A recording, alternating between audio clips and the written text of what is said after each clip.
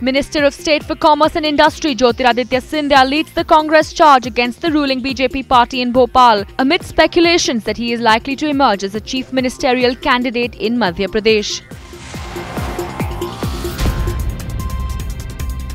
मैं तो ये कहूँगा कि कांग्रेस की मजबूरी है कि कांग्रेस का हर एक कार्यकर्ता ज़रूरी है ये आज कांग्रेस की आवाज़ है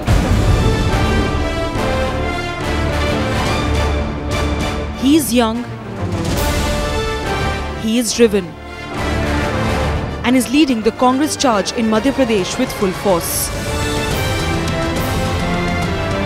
Armed with an enviable academic record and having come a long way since his entry into parliament from Guna district in 2002, Jyotiraditya Scindia could just be the face of the Congress in Madhya Pradesh in 2013.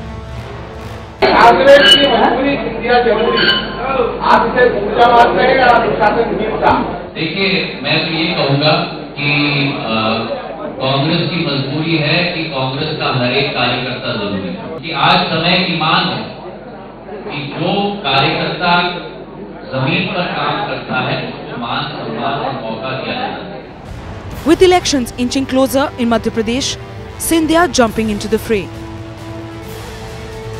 taking on Chief Minister Shivraj Singh Chouhan directly. Scindia leading a protest to the CM's residence, not deterred by the massive police crackdown.